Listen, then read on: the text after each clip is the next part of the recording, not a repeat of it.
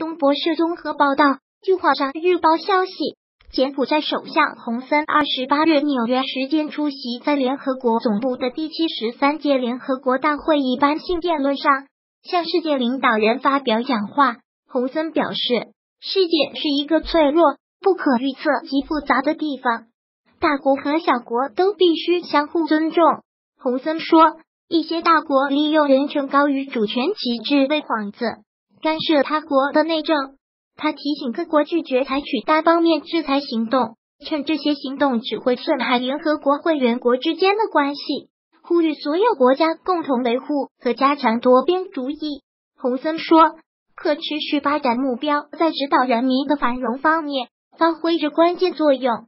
只有通过建立协调一致的多边合作，包括对策和预防措施，才能对付恐怖主义。气候变化和冲突等威胁，实现持久和平与安全。二零三零年可持续发展议程以及气候变化巴黎协定是成功促进建立一个坚持以规则为基础的国际合作原则。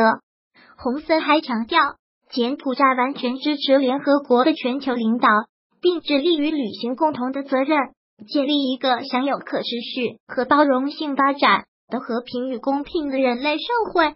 如果喜欢本视频，请分享并订阅本频道，别忘了按赞哦！